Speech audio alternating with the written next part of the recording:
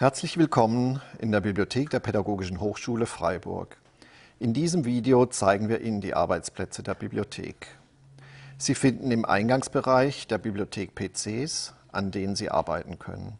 Nachdem Sie sich mit Ihrem PH bzw. Bibliotheks-Login angemeldet haben, stehen Ihnen sämtliche Office-Anwendungen und weitere Programme zur Verfügung. Selbstverständlich haben Sie Internetzugang und können, da Sie sich auf dem Campus befinden, nicht nur im Bibliothekskatalog recherchieren, sondern alle elektronischen Angebote der PH-Bibliothek nutzen. Weitere öffentlich zugängliche PC-Arbeitsplätze finden Sie im dritten Obergeschoss im Schulungsraum der Bibliothek.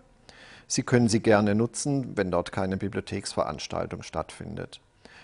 Sie können Dateien auf einem mitgebrachten USB-Stick abspeichern PH-Angehörige können Dateien zusätzlich auch auf ihrem persönlichen PH-Home-Laufwerk abspeichern, das nach dem Einloggen beim einzelnen Rechner automatisch verbunden wird. Selbstverständlich können Sie auch Ihr eigenes mobiles Endgerät in die Bibliothek mitnehmen, um damit zu arbeiten. In jedem Stockwerk des Gebäudes finden Sie Einzelarbeitsplätze. Diese sind unterschiedlich gestaltet, besitzen meist jedoch neben einer individuellen Beleuchtung auch eigene Steckdosen. Einzelarbeitsplätze können nicht reserviert werden. Im gesamten Bibliotheksgebäude können Sie kostenloses WLAN nutzen. PH-Angehörige können ihre mobilen Endgeräte über das WLAN der PH einwählen. Externen Nutzerinnen und Nutzern von anderen Hochschuleinrichtungen steht der Dienst EduRoam zur Verfügung. Einzelheiten entnehmen Sie bitte den Webseiten des ZIG. Im dritten Obergeschoss befinden sich abgeschirmte Einzelarbeitsplätze, wo es sich besonders ruhig arbeiten lässt. Sowie Workbase für Kleingruppen bis zu vier Personen. Des Weiteren finden Sie im dritten Obergeschoss einen flexibel gestaltbaren Arbeitsbereich, wo die Tische nach Ihren Wünschen angeordnet werden können. Dieser Bereich ist auch mit einem Whiteboard ausgestattet, das Sie gerne benutzen können.